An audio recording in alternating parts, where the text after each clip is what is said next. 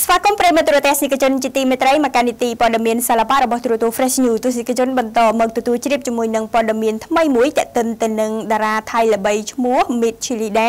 ក្រុងគ្រឿងពេជ្រតម្លៃជាងកន្លះលានដុល្លារពេលបង្ហាញវត្តមានលើកទី2នៅក្នុងប្រទេសកម្ពុជា។វត្ត មាន មកកាន់ប្រទេសកម្ពុជាជាលើកទី2របស់កំពូលតារាសម្ដែងថៃកញ្ញាមីតឈីលីដាបានធ្វើឲ្យម្នាក់ម្នាក់មានការចាប់អារម្មណ៍យ៉ាងខ្លាំងដោយសារតែកញ្ញាបានបង្ហាញខ្លួននៅក្នុងពិព័រណ៍គ្រឿងពេជ្រ Chateau de Gem កាលពីថ្ងៃទី12ខែតុលាដែលជាពិធីចម្រុះដោយវត្តមានសិល្បករខ្មែរនិងភ្ញៀវកិត្តិយសដែលជាអ្នកមុខអ្នកការយ៉ាងច្រើនកកអ្វីដែលកាន់តែចាប់អារម្មណ៍ថែមទៀតនោះគឺគ្រឿងពេជ្រដែលនាងពាក់ជាប់ខ្លួននៅក្នុងពិធីនោះគឺមានតម្លៃរហូតដល់ទៅជាងកន្លះលានដុល្លារនិងត្រូវបានប្រកាសថា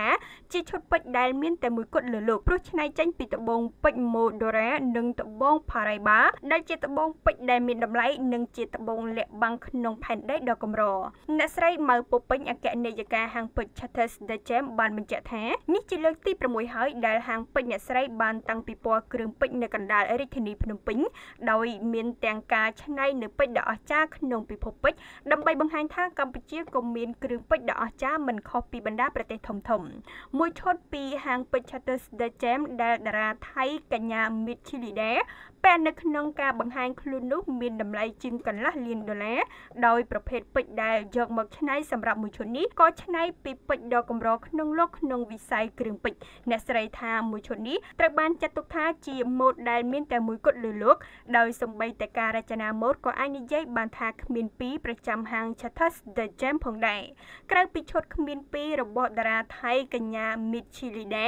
បណ្ដាពេជ្រដែលលក់បញ្ចុះតម្លៃនៅក្នុងការតាំងពិព័រណ៍នោះក៏ត្រូវបានអ្នកស្រីបញ្ជាក់ថាសិតសឹងតែជាឈុតប្រចាំហាង Chatters The Gem ដ៏ល្អឥតខ្ចោះអ្នកស្រីថាការតាំងពិព័រណ៍របស់ហាងពេជ្រ Chatters The Gem មិនត្រឹមតែបង្ហាញពីសន្ទុះរីកចម្រើននៃទីផ្សារពេជ្រនៅកម្ពុជា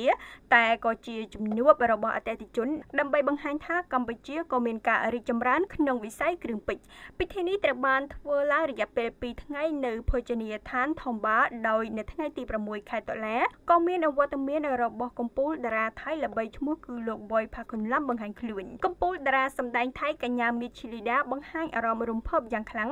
ដែលបានក្រងនៅឈុតពេជ្រដែលជាម៉ូដមានតែមួយគត់ប្រចាំហាង Chatters The Gem កញ្ញាជាប់ចិត្តជាងគេគឺចិញ្ចៀនដែលនាងបានពាក់ដោយសារតែចិញ្ចៀនមួយវងនោះជាត្បូង Paraiba ដែលជាត្បូងពេជ្រដ៏មានតម្លៃលាក់ក្នុងស្រទាប់ផែនដីដែលទើបតែត្រូវបានគេរកឃើញប្រមាណជាង40ឆ្នាំចុងក្រោយ